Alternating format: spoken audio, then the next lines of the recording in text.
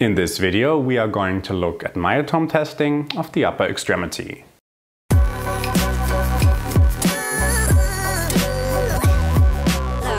Hi and welcome back to PhysioTutors. Myotome assessment is an essential part of neurological examination when suspecting radiculopathy as changes in muscle strength within a specific myotome may help you identify the pathological disc level.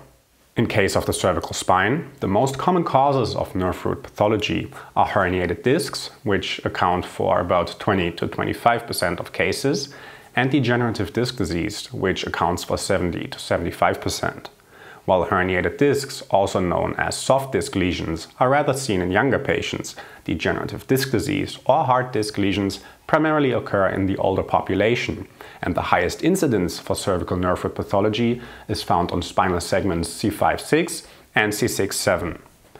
In their systematic review from 2017, Lemeunier et al. report that a complete peripheral neurological examination when suspecting cervical radiculopathy has a sensitivity of 83% and a specificity of 28%. The positive and negative likelihood ratios were 1.15 and 0.6 respectively, which is why we attribute this assessment a rather weak clinical value, but it is still the best tool we have. For C5, assess the deltoid muscle. With the patient in sitting position, ask the patient to abduct the arms to approximately 90 degrees and then apply downward pressure to the arms. Look for side-by-side -side differences. For C6, assess the biceps brachii and the wrist extensors.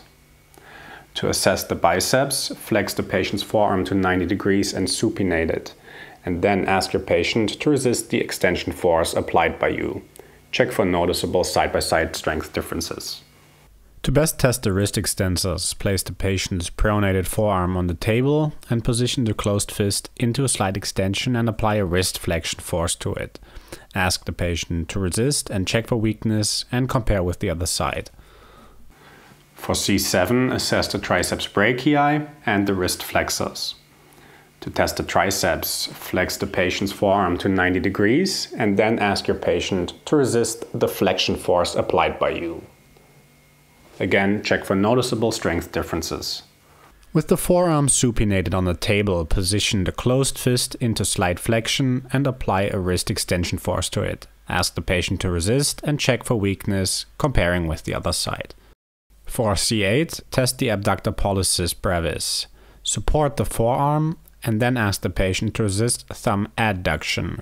Compare both thumbs and check for differences. For T1, assess the first dorsal interosseous. Fixate the three last digits and then apply an adduction force against the index finger. Alright guys, there you have it. Next to myotomes, there are also dermatomes, so click the video right next to me to learn about sensory assessment of the upper extremity. As always, if you like this video, please give it a thumbs up and subscribe to our channel, it helps us out a lot. If you want to learn about other ways to support our channel, click the first link in the video description.